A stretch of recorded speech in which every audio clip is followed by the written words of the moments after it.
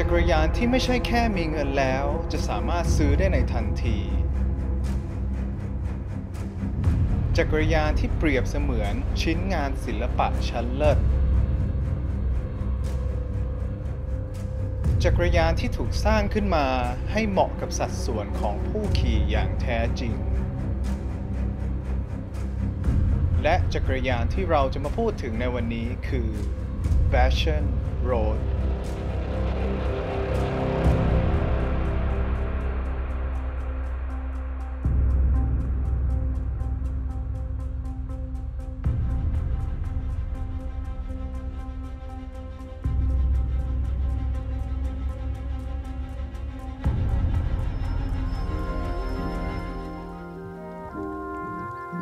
เอาละครับเพื่อนๆครับพบกับผมอาร์ตจาก The Nap Rider เช่นเคยนะครับ และนี่ก็คือ episode แรกของการทำ Bike Check นะครับ ซึ่งผมเนี่ยก็จะพยายามนะครับนำจักรยานนะครับ ที่มีความน่าสนใจไม่ว่าจะเป็นในส่วนของเทคโนโลยีนะครับหรือว่าเป็นจักรยานรุ่นใหม่ ๆ หรืออะไรก็แล้วแต่นะครับที่เกี่ยวข้องกับจักรยานเนี่ยมานำเสนอให้กับเพื่อนๆฟังไปด้วยกันนะครับและใน episode แรกนี้นะครับผมก็รู้สึกยินดีและดีใจมากๆนะครับที่จะได้มาทำการ Bike Check เจ้า b a s h a n คันนี้นะครับเรียกได้ว่าเป็นจักรยานที่เราไม่ได้จะเจอตามท้องถนนทั่วไปได้ง่ายๆนะครับปัจจุบันเนี่ยในไทยก็จะมี b a s h a n อยู่เพียงแค่ 12 คันเท่านั้นเองนะครับแน่นอนครับที่มันมีจำนวนไม่มากเนี่ยเพราะว่าราคาของเขาค่อนข้างสูงมากนะครับและนอกจากมีเงินแล้วเนี่ยก็ไม่ใช่ว่าจะสามารถซื้อเขาได้โดยทันทีนะเพราะว่าเราต้องรอเขาผลิตด้วยนะครับเราอาจจะต้องรอนะถึงประมาณ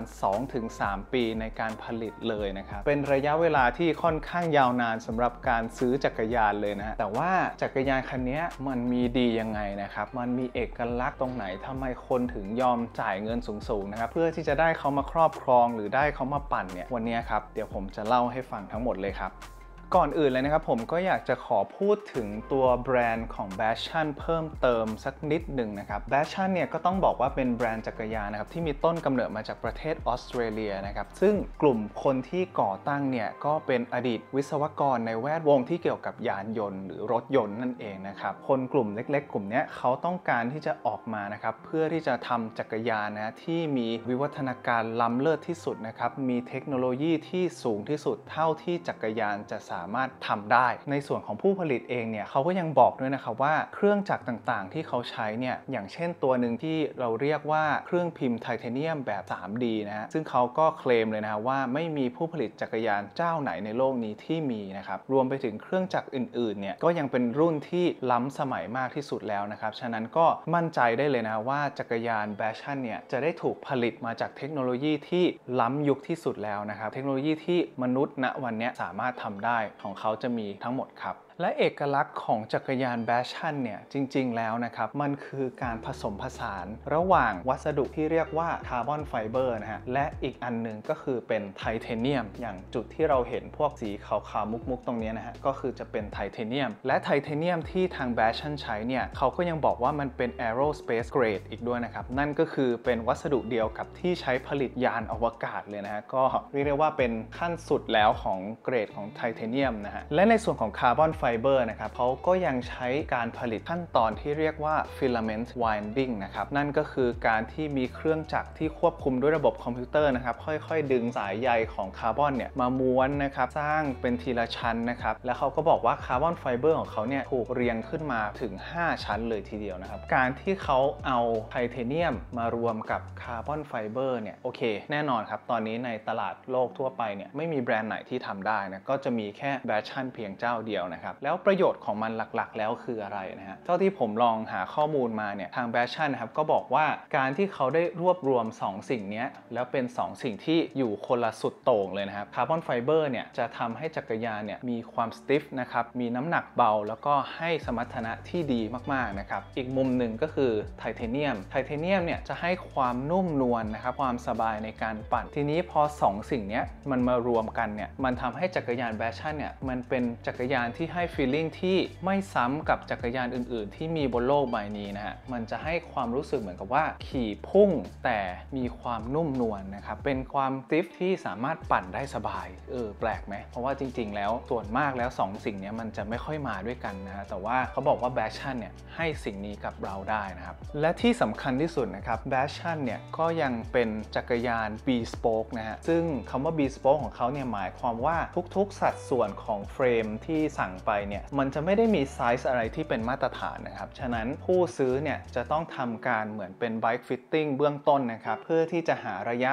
ตัวระยะคำนวณออกมาเป็นระยะของจักรยานทุกอย่างนะครับ ไม่ว่าจะเป็นการปรับลดเพิ่มหดส่วนไหนก็ตามนะครับ เพื่อที่จะทำให้จักรยานคันนี้มันมีรูปร่างหรือสรีระเนี่ยเหมาะสมกับตัวผู้ปั่นได้มากที่สุดนะครับ นั่นก็ทำให้จักรยานคันนี้พอถูกสร้างออกมาเนี่ย มันก็เรียกได้ว่าเหมาะสมกับผู้ที่ขับขี่ของเขาเพียงแค่คนเดียวเท่านั้นเลยครับ พิเศษมากๆเลย และที่ผมได้พูดให้เพื่อนๆฟังไปเมื่อครู่เนี่ยก็จะเป็นภาพรวมของแบรนด์ แล้วก็เอกลักษณ์ของจักรยานแบชชั่นนะทีนี้เราจะมาขอพูดถึงเจ้าคันนี้กันบ้างนะครับคันนี้ก็จะเป็น Bastion รุ่น road ชื่อว่า Dark Unicorn นะครับ เจ้าของจักรยานคันนี้คือปอมมี่นั่นเองนะครับ ก็ขอบคุณปอมมี่ด้วยนะครับ ที่อนุญาตให้นำจักรยานมารีวิวให้เพื่อนๆฟังในวันนี้นะครับ จักรยานคันนี้นะครับ ก็เรียกได้ว่าเป็นล็อตแรกของ Bastion นะครับที่ได้เดินทางเข้ามาในประเทศไทยนะครับตอนนั้นเนี่ยทางเจ้าของนะครับเขาก็บอกว่าล็อตแรกเนี่ยก็จะมีมาทั้งหมด 5 คัน อันเนี้ยก็จะเป็น 1 ใน 5 คันนั้นนะครับรุ่นรถในยุคแรกเนี่ยมันจะยังไม่ได้เป็น Integrate Handlebar เนาะเราก็จะเห็นว่ายังมีสายวิ่งอยู่ข้างหน้านะครับแต่ว่าปัจจุบันเนี้ยมันก็จะเป็น แฮนด์ integrate ซ่อนสายหมดแล้วเรียบร้อยนะครับทางเจ้าของเนี่ยบอกว่าเขาได้รอจักรยานคันนี้ประมาณ 1 ปีเต็มนะครับเขาบอกว่าในยุคนั้นเนี่ย1 ปีสำหรับการรอจักรยานก็ถือว่านานมากแล้วนะเพราะว่าถ้าเป็นแบรนด์อื่นๆ ทั่วไปเนี่ยคือเราสามารถเดินเข้าร้านและซื้อกลับบ้านได้เลยอะไรอย่างนี้เนาะแต่ว่า Bastion เนี่ยก็ยังต้องรอถึง 1 ปีนะครับอันนี้คือ 4 ปีที่แล้วนะและในส่วนของเฟรมตัวนี้นะครับก็จะมีการทำคัสตอม geometry ทั้งหมดตรงนี้นะครับก็ได้ทำการวัดจากทางตัวเจ้าของนะครับส่งข้อมูลไปให้ผู้ผลิตได้ผลิตออกมาเป็นดิเมนชันต่างๆ ที่เหมาะสมกับตัวเจ้าของ และนอกจากนั้นเนี่ยเขาก็ยังต้องขอทราบข้อมูลอย่างเช่นว่า ชุดขับที่เราจะใช้เราจะใช้ชุดขับอะไรนะครับ รวมถึงกระโหลกต่างๆนะครับ เพื่อที่จะทำทุกอย่างให้มันพอดีกับสิ่งที่เราจะเอาไปประกอบต่อไปนะฮะ และต่อมานะครับคือสิ่งที่2นะครับที่สามารถคัสตอมไมซ์ได้ในคันนี้ก็คือเจ้าสีในส่วนของไทเทเนียมนะฮะ ก็อย่างที่เราเห็นคันนี้นะครับก็จะเป็นสีออกขาวเหลือบๆมุกๆนิดนึงนะครับ ก็จะมีลูกเล่นเนี่ยฮะตามจุดต่างๆ ที่เป็นข้อต่อต่างๆ ตัวนี้ก็จะเป็นไทเทเนียมที่เรียกว่าเป็น aerospace grade และในส่วนที่3นะครับนั่นก็คือการสลักที่หางหลังจุดนี้ก็เรียกได้ว่าเป็นจุดที่สามารถสร้าง character ให้กับจักรยานคันนี้ได้อย่างแท้จริงเลยนะครับว่า อย่างในกรณีของเจ้าของเนี่ยก็ได้สลักเป็นชื่อของตัวเอง แล้วก็อีกด้านหนึ่งก็จะเป็นวันเกิดของเขานะครับก็เรียกได้ว่าจักรยานคันนี้บ่งบอกถึงคาแรคเตอร์คนปั่นได้อย่างแน่แท้เลยนะครับว่าเขาเนี่ยชอบการขับขี่แบบไหน แล้วอีกอย่างหนึ่งเนี่ยนอกจาก geometry ของเฟรมแล้วเนี่ยเรายังสามารถเลือกความ stiff ที่มีถึง 3 ระดับได้ด้วยนะครับ ว่าเราต้องการนุ่มนวลหรือว่าปานกลางหรือว่าแข็งมากนะครับก็อันนี้ก็น่าจะเป็นในส่วนของการทำเลเยอร์ในส่วนของคาร์บอนต่างๆนะครับที่ทำให้ตอบโจทย์กับตัวเจ้าของมากที่สุดนะครับซึ่งผมเองเนี่ยก็ได้ตั้งคำถามกลับไปหาทางเจ้าของจักรยานคันนี้นะครับว่าทำไมตอนนั้นถึงเลือกซื้อ Bastion นะครับเพราะว่าทั้งแพงแล้วก็ทั้งรอนานด้วยนะครับเขาก็ให้คำตอบง่าย ๆ มาว่าตอนนั้นเนี่ยคือเขาอยากได้จักรยานที่มีความแตกต่างออกไปจากคนอื่น ๆ สิ่งที่2เนี่ยสำคัญเช่นกันนะครับ ก็คือการที่ใช้วัสดุคาร์บอนไฟเบอร์ผสมไทเทเนียมเนี่ย อันนี้ก็ทำให้เขารู้สึกมีความสนใจมากขึ้นนะครับ และสิ่งต่อมาเนี่ย เนื่องจากตัวเจ้าของเองเนี่ยเขาเคยอาศัยอยู่ที่นิวซีแลนด์นะครับ แล้วเขาก็เดินทางไปออสเตรเลียบ่อย เขาเลยรู้สึกว่าเออ มันเหมือนมันผูกพันนะครับ กับจักรยานที่เกิดมาจากออสเตรเลีย มันก็เลยทำให้เขาตัดสินใจเลือกซื้อคันนี้ได้โดยไม่ยากเลยนะครับ และอีกสิ่งหนึ่งนะครับที่น่าสนใจมากๆเลย อันนี้ผมแบบผมสงสัยเป็นการส่วนตัวเลย ผมไม่รู้ว่าเพื่อนๆจะคิดเหมือนผมไหมนะ ก็คือถ้าเพื่อนๆมองแล้วเนี่ยจริง ๆ แล้ว Bastion คันนี้มันได้ถูกปรับแต่งให้ออกมาเป็นกึ่ง road กึ่ง gravel นะแต่หลายคนก็คงงงว่าเฮ้ยจักรยานหรูหราขนาดนี้ทำไมทำให้มันเป็นกราเวลไปปั่นลุยอะไรได้อย่างเงี้ย ครับซึ่งเนี้ยผมก็ถามไปแล้วก็ได้คำตอบกลับมานะว่า จริง ๆ แล้วคันเนี้ยเป็นจักรยานที่เขารักที่สุดคันหนึ่งเขาก็ต้องการปรับแต่งมันเนี่ยเพื่อให้ไปกับเขาได้ในทุกๆสถานที่นะครับอย่างเช่นตอนเนี้ยถ้าเรามองหลักๆ แล้วเนี่ยเราก็จะเห็นว่ายางเนี่ยมันไม่ใช่ยางจักรยานเสือหมอบทั่วไปนะมันเป็นยางเหมือนกราเวลแล้วก็ส่วนที่สองก็คือเจ้าบันไดกึ่งๆ เป็นบันไดเหมือนเสือภูเขานะครับซึ่งที่ผมถามเนี่ยคือเขาอยากให้คันเนี้ยออกไปปั่นท้องถนนในกรุงเทพ ผุผุพังๆได้ หรือออกไปปั่นต่างจังหวัดได้นะครับ ออกไปปั่นลุยหินลุยกรวดลุยทราย มันก็ยังพอตะกุยไปได้นะครับ แน่นอนอาจจะไม่ได้เทียบเท่ารถกราเวลโดยเฉพาะแต่ว่ามันก็ยังพอไปได้ และในส่วนของบันไดเนี่ยก็คือเขาอยากให้มันปั่นง่ายๆนะครับใส่รองเท้าเสือภูเขาหรือว่าใส่ผ้าใบก็ปั่นได้เช่นกันนะครับพอรักมากก็เลยอยากให้เขาไปด้วยกันได้ทุกที่นั่นเองครับ ทีนี้นะครับพอเราจะมาดูอุปกรณ์อื่น ๆ บนจักรยานคันนี้นะเราก็จะเห็นได้ว่าโดยภาพรวมแล้วเนี่ยมันก็ยังเป็นจักรยานเสือหมอบอยู่นะฮะ ทั้งในส่วนของแฮนด์ชุดขับนะครับ ก็เป็น Dura Ace Di2 11 Speed นะครับเบาะอันนี้ก็แน่นอนนะครับ เป็นเบาะซิ่งนะครับ ในส่วนของล้อ ล้อจริงๆ ก็เป็นเหมือนล้อไต่เขานะฮะอันนี้เป็น Campag WTO ขอบ 33 นะครับ ก็เรียกได้ว่าเป็น combination ที่ค่อนข้างแปลก แต่ว่ามันก็เป็นสิ่งที่ทางเจ้าของเขาตั้งใจทำเพื่อให้เขาสามารถไปกับมันได้ทุกที่นั่นเองนะ ถ้าเราพูดถึงในส่วนของราคาหากเพื่อนๆคนไหน